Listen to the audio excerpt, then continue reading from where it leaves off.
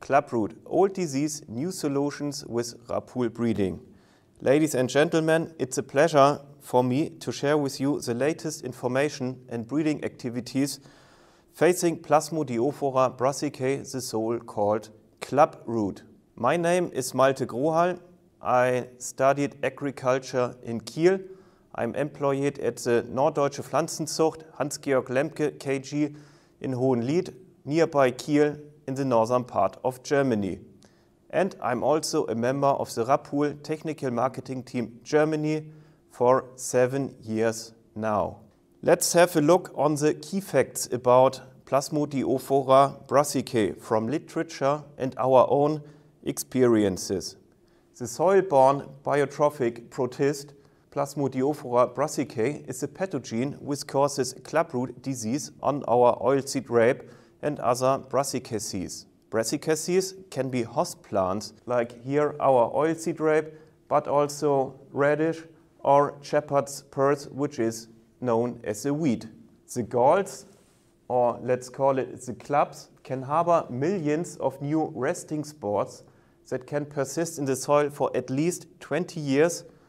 And in fact, afterwards, again, our oilseed rape or cruciferous cover crops especially warm autumns with higher soil temperature up to 20 to 25 degrees in combination with soil moisture increase the risk of clubroot diseases. Symptoms of infestation with Plasmodiophora brassicae, let's call it clubroot, can be found in different plant stages.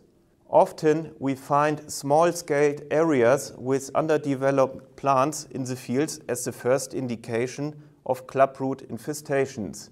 When we dig out some plants from these areas, we see the clubs or the galls in autumn. Here I can present you a photo I've taken in December, which shows heavy infestation of clubroot in our non-resistant variety in our clubroot stress test here in Hohenlieth.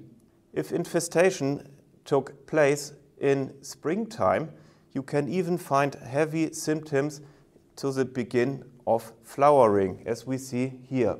Here we have mapped the geographical distribution of clubroot from our own experience in European rapeseed cultivation. Hotspots can be identified along the Baltic Sea coast from northern and eastern Germany, along Poland, and of course in the Baltics, which are also, of course, the traditional rapeseed cultivation areas. We find moderate infestation situations on a larger scale, including in more continental areas like the middle and south Germany and also among the center of Poland. Now I would like to share with you some detailed information from the German market and research. In Germany, hybrids with clubroot resistance, which works race specific, have a level of about 9% of the cultivated winter oilseed rape area in total. That means that about 100,000 hectare are cultivated with clubroot resistant material in Germany at the moment.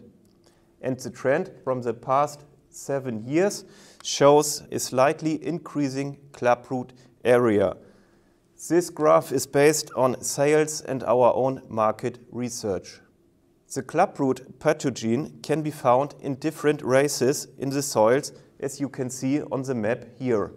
In 2022, our German Federal Research Institute for Cultivated Plant carried out a monitoring on 115 fields to map the different races. Different races of Plasmodiophora brassicae were found and each marked in color in this map.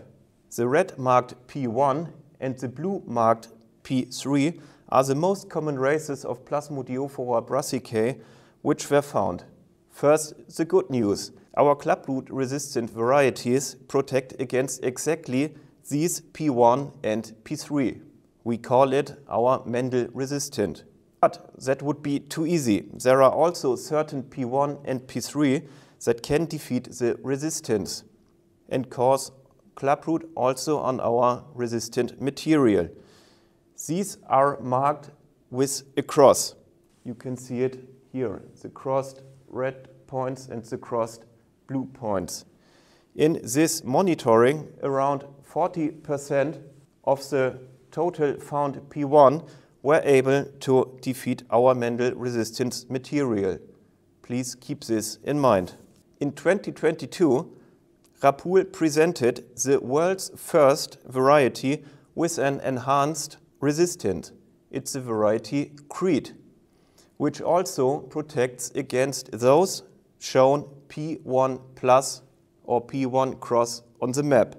This allowed us to do a stress test on 20 clubroot contaminated fields in Germany, which shows this result.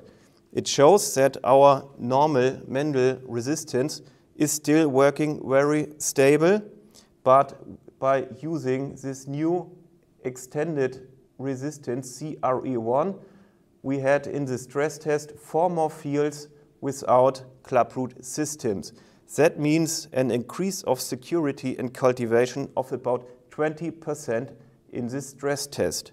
These are very good news from our Rapool breeding department. The breeding work to develop clubroot resistance began in 1987, one year after my birth. Through hard breeders' work in several projects with universities and several projects over 12 years, the first approved variety with Mendel resistance was at the market in 2001. It was a variety called Mendel. Milestones with more yields and better agronomy were established with Mentor, Chrome, now Crocodile and Chromat at the market. And new varieties also with this enhanced CRE1 resistance are on the current timeline like Create and Credo. So I would like to come to the end of my presentation with our recommendations to you. There are genetic answers to clubroot, but we have to pay attention to the agricultural principles in order to remain in control of the situation. You have to eliminate the host plants for clubroot, also the volunteers. This is very important. So a strict volunteer management can slow infestations and frequency. In case of clubroot infestation, only use clubroot resistant varieties. Please keep in mind a four-year cultivation break. This also applies for clubroot resistant catch crops. Later sowing dates can reduce also the risk of infestations because there we have often lower soil temperature under 16 degrees. Also, a higher pH in the soil and well aerated soils, so a good soil structure, make infestations more difficult. Dry conditions do it as well.